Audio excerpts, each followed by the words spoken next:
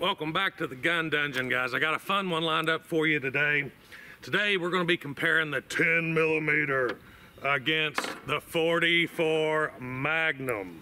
Now, before everybody, anybody jumps in and says 10 millimeter is not as powerful as 44 Magnum, I know 10 millimeter is not as powerful as 44 Magnum. But this test, we're going to be shooting through some heavy bone. We have some pork hocks here with a pretty good sized bone in it. Got two of those lined up, as you saw in the, in the intro. We've got two layers of deer leg bones behind those, and then I have a layer of beef ribs behind that, and then a gel block to catch it. Now, the point of this test is this is hard cast versus hard cast, hence the heavy bone. And if you've ever been on a gun forum, you'll see several threads talking about bear defense and 44, 10 millimeter. You see it all the time on the high road. If you're not a member of the high road, make sure to go over there to thehighroad.org. It is a massive well of information. A lot of great guys there. Go check them out. A lot of good conversation, but like I said, there's all the forms everywhere have bear defense and all this, but, and like I said, 44 Magnum is more powerful than 10 millimeter, especially when shooting it through a seven and a half inch Ruger Super Redhawk, or Super Blackhawk, my bad. So you got a seven and a half inch barrel there, and we're gonna be using a four and a half inch barrel for the 10 millimeter.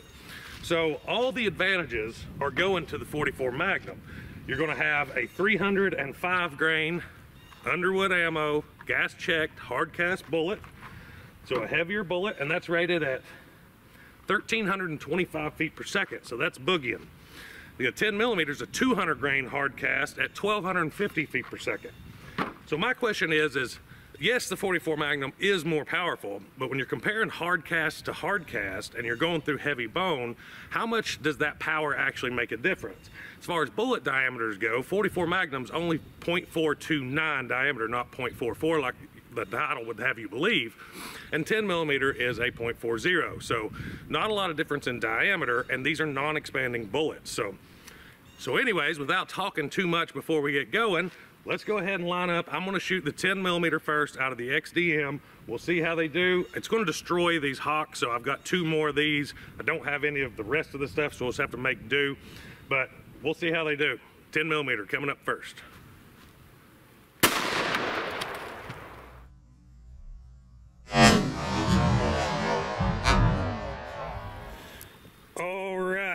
Guys. So this is how it was laying. Haven't touched anything. Definitely drilled through bone with that. Good hole. You can see the bone fragment coming out the back.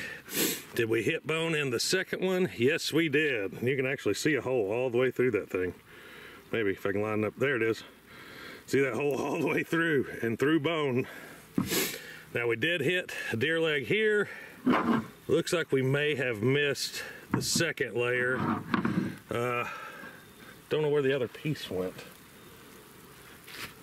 Anyways, and let's see. The bullet is not in the gel, so it's got to be, there it is. There it sits, right against that bone in the beef rib. Wow, that is buried in there. Yeah, let me dig that out and I'll show you what that bullet looks like. All right, guys, so that took some work to dig out of that beef rib. It was buried in that bone right there. But that's our 10 millimeter bullet right there. That is it after the shot. Let's try 44 Magnum.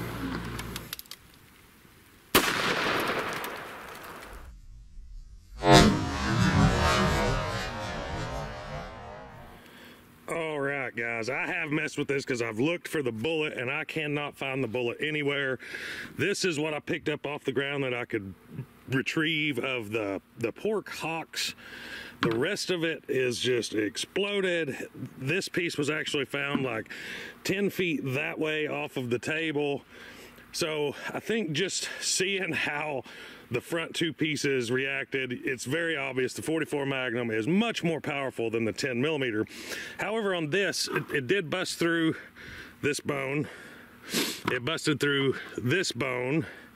There's some more hock chunks, but I can't find I thought maybe this was a hole in the rib, but I, I, it's not. I can't find a hole in the beef rib. That was where the 10 millimeter was, and there's nothing on the backside of this beef rib.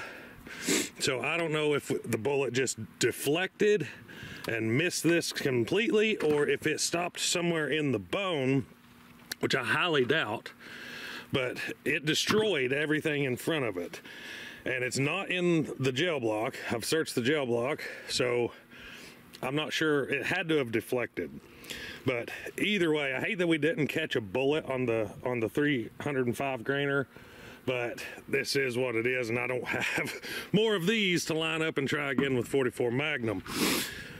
But it just blew them apart anyways. So, yeah.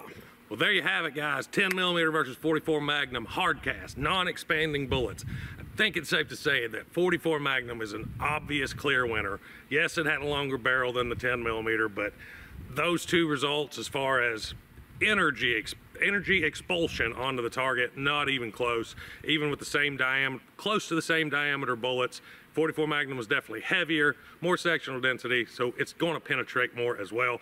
Even though we didn't capture a bullet, we know for a fact that the higher sectional density and weight and muzzle velocity is going to give you more penetration. So that's what I got for you today, guys. I hope you enjoyed the video. It was fun to do. If you did, don't forget to hit like and subscribe. And until next time, guys, stay tuned.